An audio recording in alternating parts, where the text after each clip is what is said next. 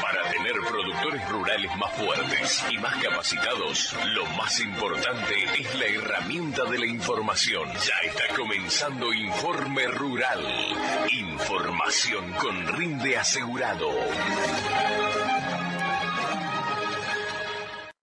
El asado con amigos puede esperar. Ahora es momento de cuidarnos. Por eso, quédate en casa y cocina en casa. Encontra las mejores recetas en carneargentina.org.ar. Es un mensaje del Instituto de Promoción de la Carne Vacuna Argentina. Vivimos una especie de furor por la compra de la carne en el momento en que se decretó el primer periodo de, de cuarentena. Coincidió también con que alguna gente recién había vuelto de sus vacaciones y tenía el freezer vacío Ahora creo que está mucho más parejo el trabajo en cuanto a que no hay una desesperación por comprar cada vez que se anuncian dos semanas más de, cuarentena.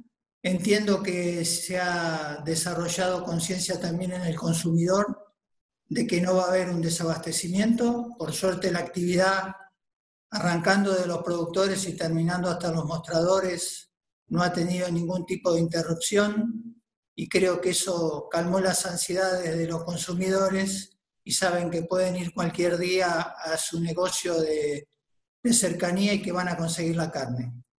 Tenemos datos nuevos y la verdad es que esto cambia día a día porque creo que hay un montón de factores que anteriormente no incidían en el negocio y que ahora están siendo directamente eh, referentes de los comportamientos de los clientes del exterior. Para no ir muy largo, te diría, China, que en el mes de abril, de acuerdo a las informaciones que manejamos en el instituto, ha tenido más del 80% de las exportaciones argentinas, aún no está en, plenitud, tiene problemas de logística. La realidad es que eh, los mismos problemas que tenemos nosotros en Argentina con lo que es el problema de consumo en la hotelería y en los restaurantes, lo tienen casi todos los países del mundo, con lo cual los volúmenes requeridos no son los de fin del año 2019.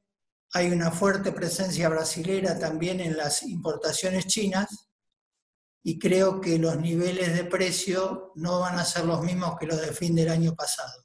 Igualmente sigue siendo el jugador número uno, y estamos a la expectativa que esta liberación que se está dando en la Unión Europea en distintos países que habitualmente son consumidores le den un espaldarazo a, remover y renovar nuevamente las cargas de, de enfriado, fundamentalmente de carne de alta calidad a la Unión Europea.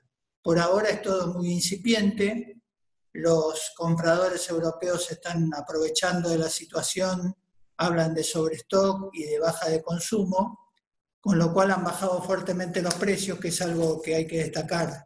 En, todo, en todos los mercados compradores de la Argentina que están activos y a los cuales la Argentina está pudiendo cargar, los precios han, han tenido una, una baja sustanciosa. La cuota Hilton, estamos terminando la última semana en donde podría hacerse alguna carga marítima, porque si no los tiempos de llegada ya entrarían en el nuevo ciclo que arranca a partir del 1 de julio de 2020.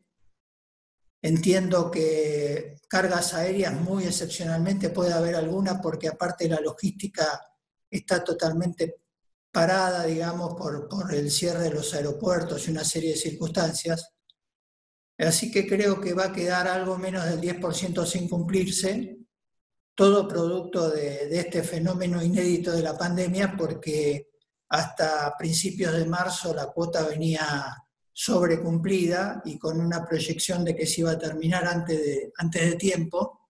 Pero bueno, el cierre de, de toda la actividad en la Unión Europea relacionada con restaurantes, hotelerías y turismo ha hecho que no se pueda cumplir no olvidemos que la cuota Hilton está integrada por cortes finos y de mayor valor, con lo cual no se canaliza tanto a través del, consumo doméstico, sino en todo lo que son restaurantes de lujo y hotelería y, y casas relacionadas con alimentación de los turistas.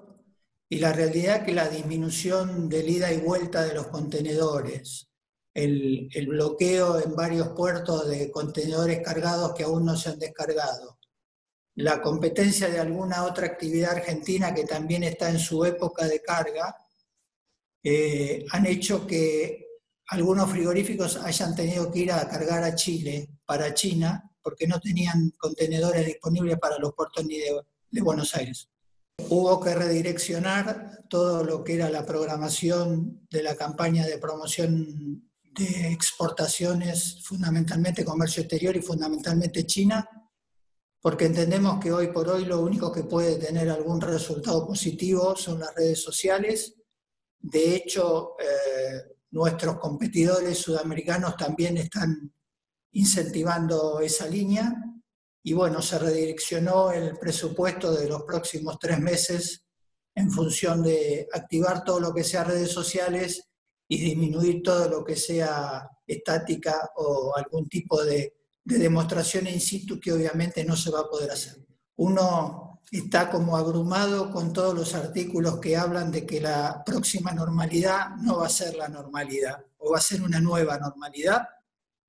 Y con esta situación creo que indudablemente va a haber un tiempo de acostumbramiento a las nuevas reglamentaciones que todos los ciudadanos tendremos que respetar en los distintos países y creo que el impacto más fuerte va a estar sobre todo en el tema de lo que es el, el catering, la gastronomía y la disminución brusca del turismo que todos están anticipando.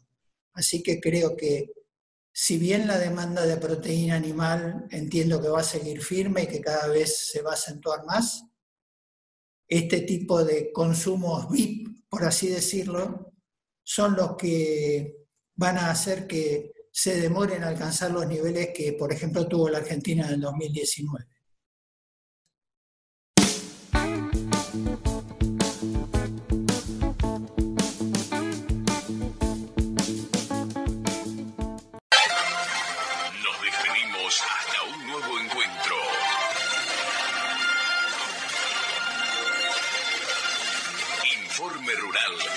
Una realización de Horacio Mazola, imagen y comunicación agropecuaria.